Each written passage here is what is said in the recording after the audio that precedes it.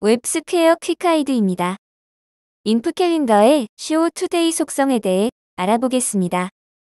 이 속성을 사용하면 사용자가 달력 아이콘을 클릭하여 달력을 표시할 때 today 버튼을 표시하거나 숨길 수 있습니다. today 버튼은 현재 날짜를 선택하는 용도로 사용합니다. show today 속성 값을 true나 false로 지정하십시오. 예제를 통해 확인해 보겠습니다. input calendar입니다. 브라우저에서의 모습입니다. 달력을 클릭하면 디폴트 상태에서는 today 버튼이 하단에 표시됩니다. 스튜디오로 돌아와서 show today 속성 값을 false로 변경합니다. 저장합니다. 화면을 다시 로딩합니다.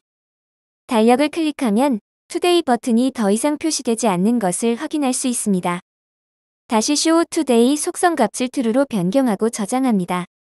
화면을 다시 로딩하고 달력을 클릭하면 today 버튼이 표시됩니다. WebSquare quick guide를 시청해주셔서 감사합니다.